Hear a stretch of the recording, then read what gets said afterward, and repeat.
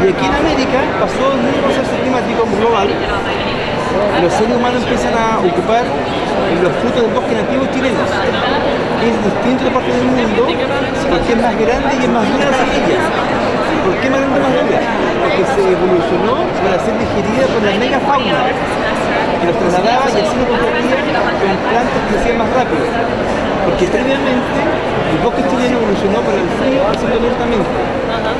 Fue cambio climático y mucho sol, había plantas que crecían más rápido y daban sol y las mataban. Evolucionó así, cuando se extinguió la media fauna y se el dispersor. Desde entonces el bosque, nativo chileno se iba achicando. Y por eso estamos haciendo campañas para preservarlo.